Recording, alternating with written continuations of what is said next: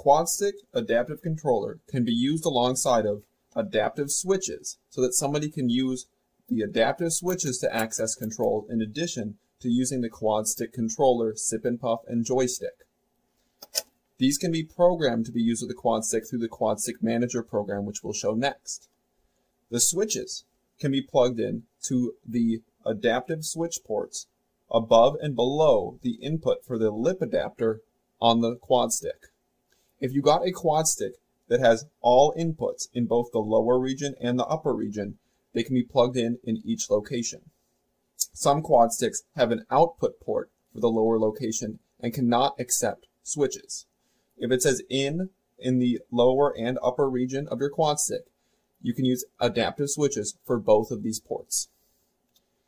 If you want to use an adaptive switch with one of these ports, you can plug in your adaptive switch directly into the port. If you want to use multiple switches with a single port, you can buy a adapter which splits the different ports for the switches so that two switches can be accepted. Therefore, by using the splitter for both locations on the quad stick, the quad stick can be used with four different adaptive switches using the input ports on the back of the quad stick. Then the switches can be plugged in each to the ports on the adapter. Next, we're going to show how to program the adaptive switches through the Quad Stick Manager program, both while using the adapter or plugging it, plugging it directly into the input ports on the back of the quad stick. Before the adaptive switches can be used alongside the quad stick in games, they will need to be assigned controls within the quad stick spreadsheets. In the quad stick spreadsheets, the adaptive switches will show up as digital inputs. So you'll type in digital in, and for the top port on the quad stick, that will be assigned digital input 8 if you're not using one of the splitters. The bottom hole on the quad stick will be assigned digital input 1 if not using one of the splitters. If you're using one of the splitters, there will be a black and a red port that you can plug switches into. For the black port, it will be assigned the lower of the two numbers. So, if you're plugging in a splitter to the top port on the quad stick, those will be assigned digital input 7 and 8. Therefore, the black port on the splitter will be assigned as digital input 7, because that's the lower of the two numbers, and the red port on the adapter will be assigned as digital input 8. Similarly, the bottom port will either be assigned digital input 1 or digital input 2.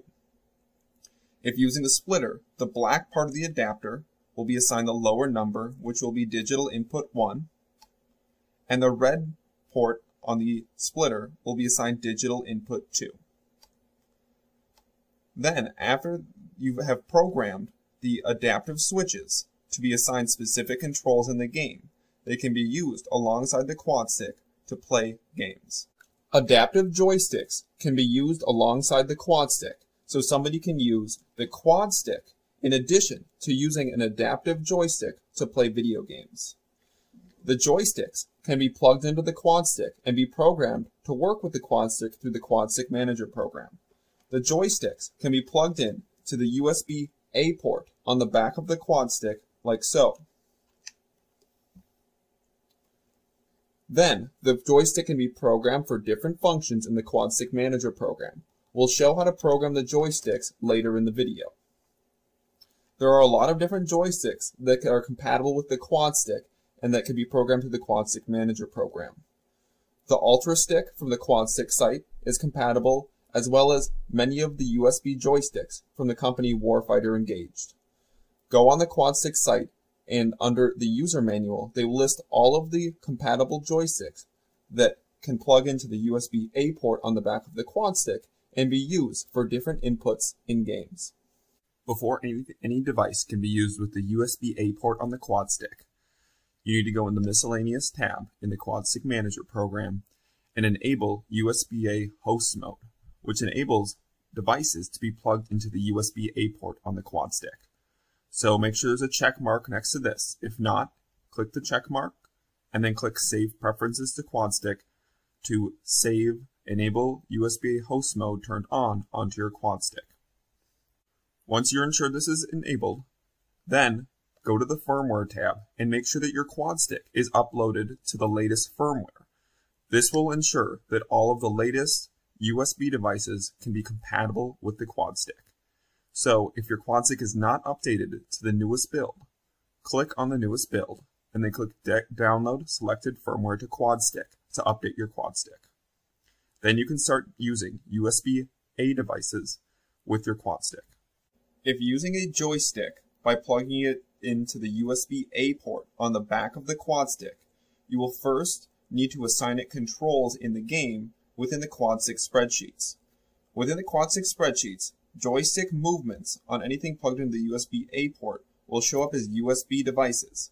So you can go into the quad stick spreadsheet and type in USB and USB 1 left, USB 1 right, USB 1 up, and USB 1 down will be primarily corresponding to any joystick that is plugged in to the USB-A port in the back of the quad stick controller.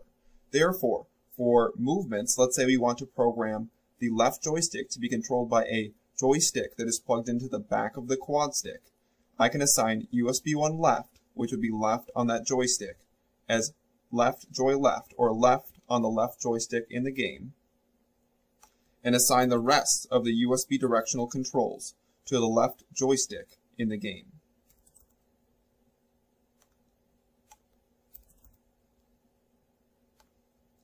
Now I have my joystick, which is plugged into the back of the quad stick, assigned controls in the game to be accessible and be able to access the left joystick while I'm playing. Many different controllers can be plugged in to the USB-A port on the back of the quad stick and be used alongside the quad stick to play specific games. So for someone who is able to partially access a controller and wants to use a standard controller or some other version of a controller alongside of the quad stick, this can be plugged in to the back of the quad stick and then using the quad stick manager program the controls can be programmed on the controller using the specific spreadsheets in the QuadStick Manager program. Later in this video, I will show how to program the joysticks and buttons on a standard controller that is plugged into the back of the quad stick to work with the quad stick when using this method for playing video games.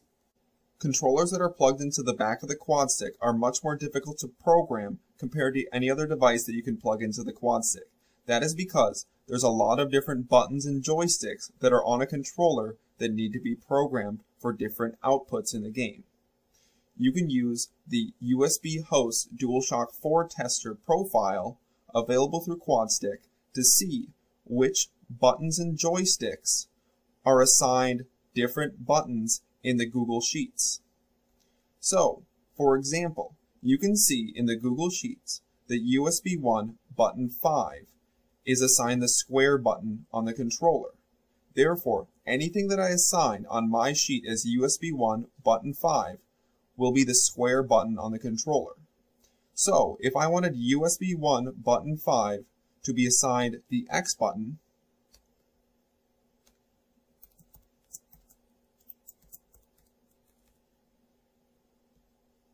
that would make it so the square button on the controller would control the X button in the game because USB 1 button 5 corresponds to the square button on the controller.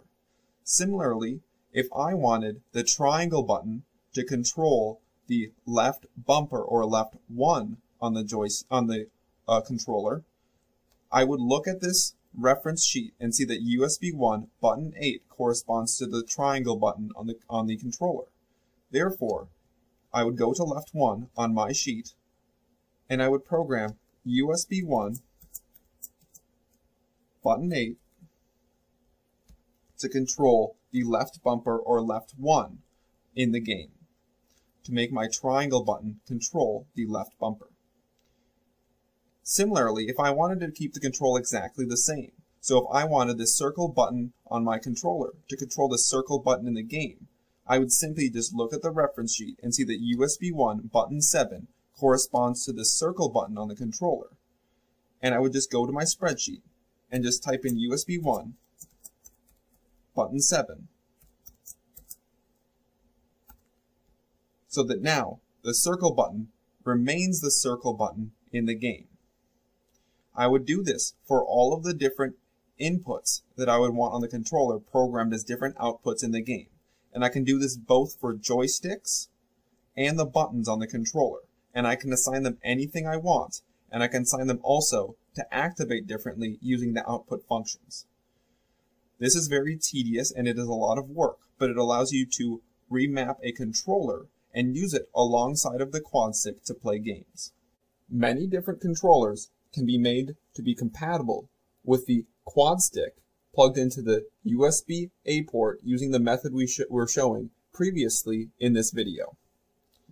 This includes the HoriFlex mini controller, the PS4 version of the Evil controllers, many specialty PS4 controllers, and the Xbox adaptive controller when using the Brook XE converter. The Brook XE converter can be plugged in to the Xbox and then plugged in to the quad stick. And this will allow the quad stick to be used with the Xbox adaptive controller. And then the Xbox adaptive controller can be programmed through the quad stick manager program to be compatible with specific controls.